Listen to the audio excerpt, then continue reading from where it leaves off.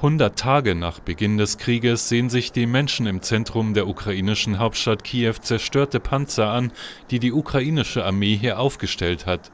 Sie sind eine Art Zeichen dafür, dass die Ukraine die russischen Truppen schlagen kann. Und schließlich musste die russische Armee den Vormarsch auf Kiew ja aufgeben. Gefühlsmäßig ist das alles sehr schwierig.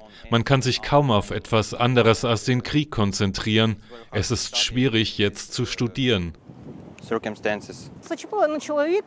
Mein Mann hat Kiew verteidigt. Jetzt kämpft er in Mikolaev. Eine Cousine meines Mannes ist aus Mariupol. Ihre Kinder haben überlebt, aber sie und ihr Mann wurden getötet.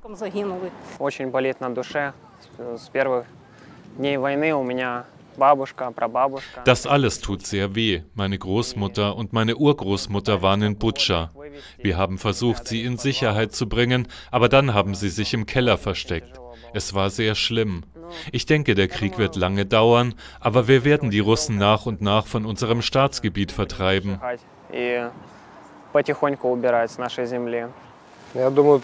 Ich denke, der Krieg wird noch sehr lange dauern und nicht bald enden.